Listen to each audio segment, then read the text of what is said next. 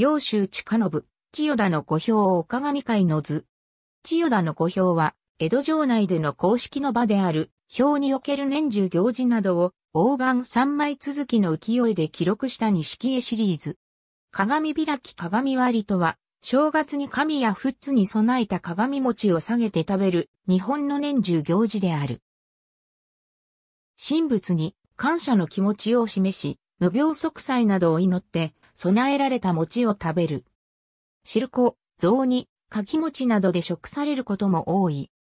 江戸時代、新年の吉日に、商家では、蔵開きの行事をしたが、武家において、新年の11日に行われる行事で鎧などの具足に備えた具足餅を下げて、雑煮などにして食し、羽柄を祝うとした行事。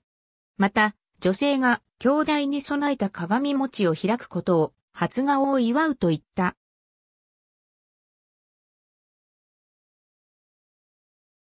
この武家社会の風習が一般化したものである。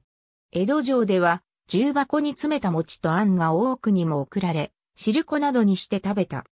刃物で餅を切るのは、切腹を連想させるので手や、きついで割り、切る、割るという言葉を避けて、開くという言葉を使用する。鏡は円満を、開くは末広がりを意味する。また、鏡餅を食すことを、歯固めという。これは、硬いものを食べ、歯を丈夫にして、年神様に長寿を祈るためという。鏡餅の割れ方で占いをする地域もあり、鏡餅の割れが多ければ、豊作と言われている。武家の具足式を受け継ぎ、柔道場、剣道場などでは、現在も鏡開き式を新年に行うところもある。関東を中心にした地域では、年神へのお供えが松の内に終わった後の1月11日に行われる。もともとは松の内が終わる、小正月後の1月20日に行われていたが、徳川家光が亡くなったのが慶安4年4月20日であったため、1月20日を期日として避け、後に松の内後の1月11日とされた。グレゴリオ歴になった現在、松の内が1月15日の地方では、16日以降に鏡開きが行われ、通常1月20日に行われる。京都府や近隣の一部では1月4日に行うが、その理由は明確とはなっていないと言われている。西日本では、陰暦の2月15日に行われる涅槃会に合わせて、鏡餅を割って、あられを作って食べ、1年間の無病息災を願う風習もある。釈迦の花くそに形が似ていることから、花友祖などの名前で参詣者に配られている。祝宴などで菰を巻きつけた酒樽の蓋を木槌で割って開封することも鏡開きという。これは、酒屋では酒樽の揚げ豚のことを鏡と呼んでいたことに由来する。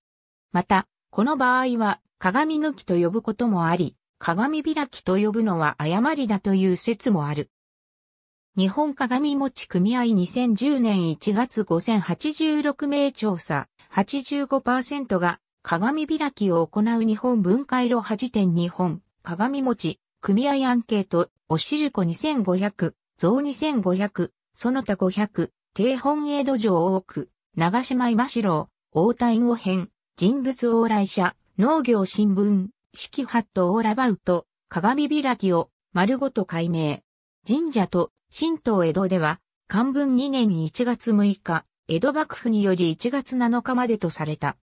奈良新聞天理教 AB、鏡開き知る楽しむ月景観ホームページ。2016年12月9日閲覧。